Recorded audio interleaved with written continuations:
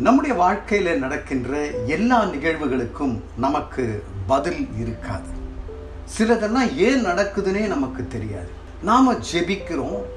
நாம அந்த ஒரு காரியத்திற்காக விடாமல் காத்திருந்தோம் விசுவாசத்தோடு இருந்தோம். ஆனாலும் நடக்கலையே. என்னுடைய தாயார் வியாதியோடு இருந்த பொழுது நாங்கள் ஜெபித்தோம். அவங்க மரண படுக்கையிலே அவஸ்தையோடு இருக்கும் பொழுது விசுவாசத்தோடு ஆண்டவரை நோக்கி கதறினோம்.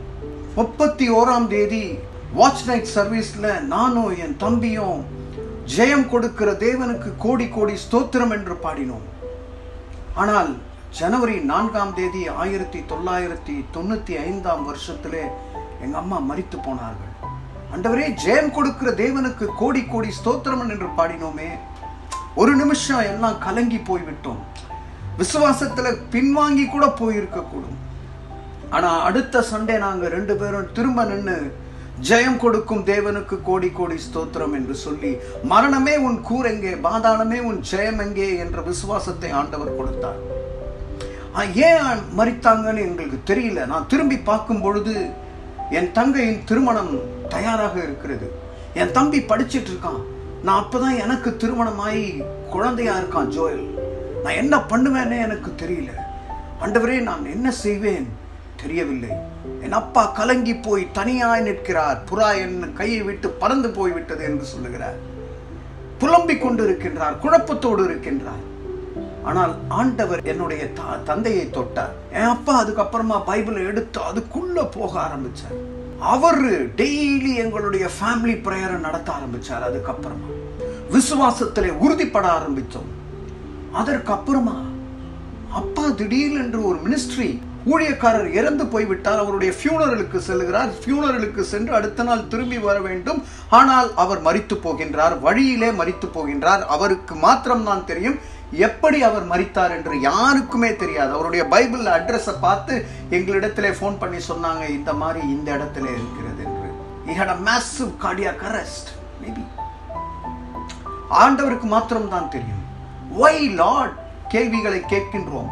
என் அப்பாவை இழந்தேன் என் அம்மாவை இழந்தேன் ஏன் ஆண்டவரே இப்படியெல்லாம் எங்களுக்கு சோதனை என்று சொல்லி கலங்கின நேரங்கள் உண்டு.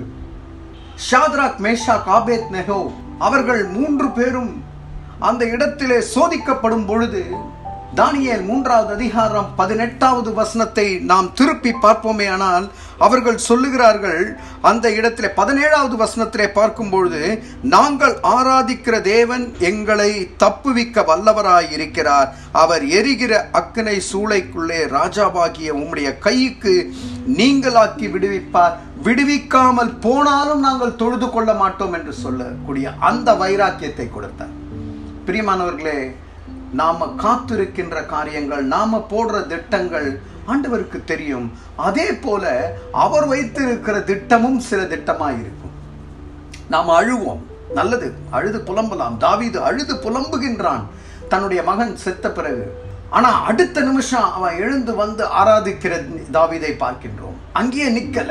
இன்னைக்கு நாம நம்முடைய கைகளில் இருந்து சிலது பறிக்கப்பட்டிருக்கும். சிலர் ப- சிலர் மறைந்து போயிருப்பார்கள். சில வேலை பறி போயிருக்கும். சில காரியங்கள் நீங்கள் காத்திருக்கிற காரியங்கள் நடக்காமல் போயிருக்கும்.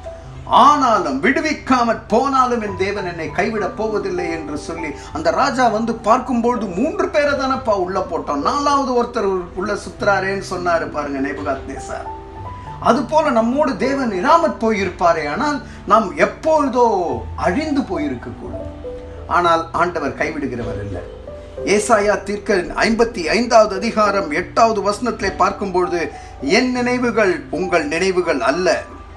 உங்கள் வழிகள் என் வழிகள் அல்லவென்று கர்த்தர் சொல்லுகிறார். ஆண்டவருடைய வழிக்கு நம்மை ஒப்பு கொடுப்போம் அவர் ஒரு பியூட்டிஃபுல் பிளானை வச்சிருக்காருங்க நம்முடைய வாழ்க்கைக்கு. குயவன் கையிலே களிமண். அந்த குயவனுக்கு தெரியும் இந்த களிமண்ணை எப்படி உருவாக்க வேண்டும் எப்படி நொறுக்க வேண்டும் எப்படி உபயோகிக்க வேண்டும் என்று சொல்லி. வெறுமையான பாத்திரம் நான். என்னை ஆண்டவரே உதறி தள்ளாமல் இம்மட்டும் காத்து தேவனே மக்கு நன்றி என்று சொல்லி அவருடைய நினைவுக்கு அவருடைய வழிக்கு நம்மை ஒப்பு கொடுத்து இந்த நாளை துவங்குவோம். Good morning